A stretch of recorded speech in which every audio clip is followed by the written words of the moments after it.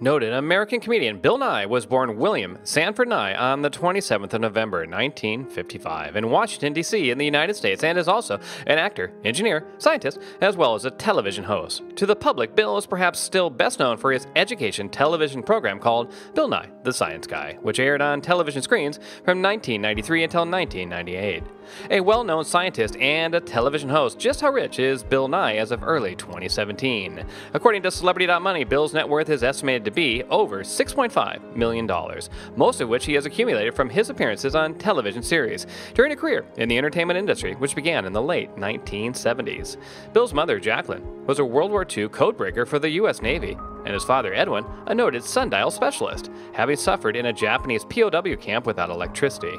Bill was educated at Sidwell Friends School and, upon matriculation in 1973, enrolled into Cornell University, from where he graduated with a degree in science and mechanical engineering. Bill initially found a job at the multinational corporation, the Boeing Company, being credited with inventing a hydraulic resonance suppressor tube used on the Boeing 747, which was the basis of his net worth, and even tried to become an astronaut, but met with multiple rejections from NASA.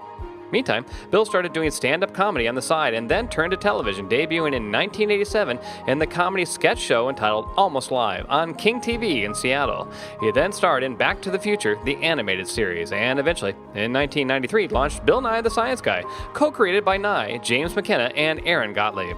The show mainly focused on the pre teen audiences, as it aimed to teach and explore a variety of scientific topics. Even though the show finished its run many years ago, Bill Nye the Science Guy is still popular popular in high schools and on various PBS stations.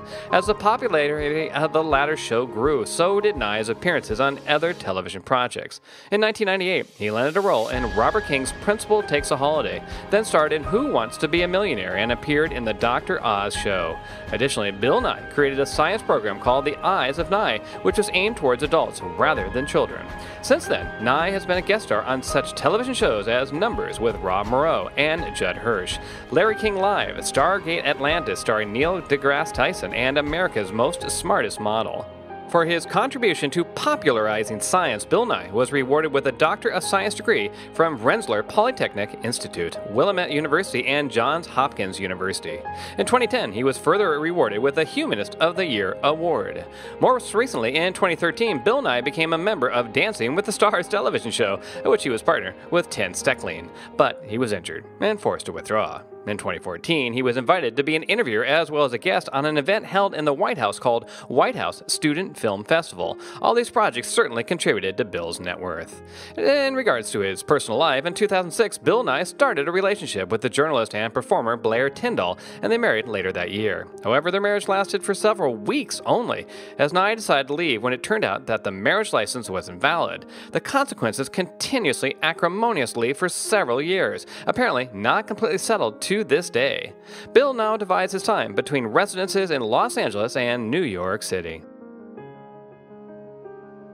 Thank you for spending some time with us. Make sure to like and subscribe so you never miss another video. We also handpicked these videos which we recommend you watch next. Or head over to celebrity.money for the most detailed net worth articles on the market. Thank you for being with us and we'll see you back tomorrow.